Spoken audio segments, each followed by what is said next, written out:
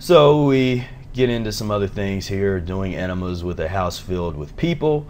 Again, another practical application of lifestyle. In my opinion, there's no excuse to not get into the diet. Not school, not I'm too young, not live with my parents, not I'm too old and I got too much work to do.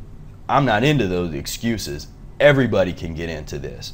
It's all about the transition. Anybody can begin a slow and comfortable transition if you're confronted with this concept that you have to cut everything out, that you have to cut all cooked foods out, you have to cut out all mucus, over here nobody's saying that.